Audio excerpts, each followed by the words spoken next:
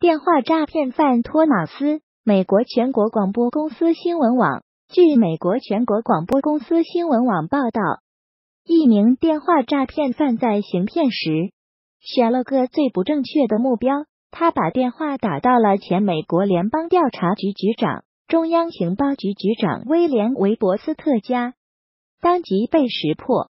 这名倒霉的诈骗犯日前被判处七十一个月监禁。在刑期满后将被驱逐出境。诈骗犯名叫托马斯，今年二十九岁，来自牙买加。他于二零一四年六月九日第一次打电话到韦伯斯特家，说自己是超级彩票的负责人。韦伯斯特中了一千五百五十万美元和一辆两千零一十四款的梅赛德斯宾士。前美国联邦调查局局长威廉·韦伯斯特，美国全国广播公司新闻网。托马斯不知道的是，他选的诈骗物件威廉·韦伯斯特是前美国联邦调查局局长，还是美国总统卡特和里根时期的中央情报局局长。当然，骗局被一眼识破。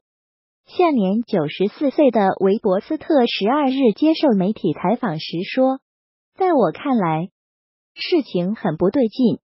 这对我来说简直是太明显的骗局了。”威廉·韦伯斯特夫妇，美国全国广播公司新闻网。韦伯斯特当时联络了联邦调查局，记录了他和骗子的后续对话。托马斯称，他家必须支付五万美元。约合人民币三十三点七七万元作为奖品的税金。当发现韦伯斯特家不愿意付钱时，托马斯变得十分不耐烦，甚至开始威胁韦伯斯特夫妇，说自己一直在监视他们。韦伯斯特的夫人琳达对记者表示：“骗子吓坏了我。”他说：“狙击手的子弹将瞄准我，把我打得鲜血直流。”联邦调查局最终于二零一七年十二月十八日，在纽约肯尼迪机场国际机场逮捕了托马斯，并发现他是一名通缉犯。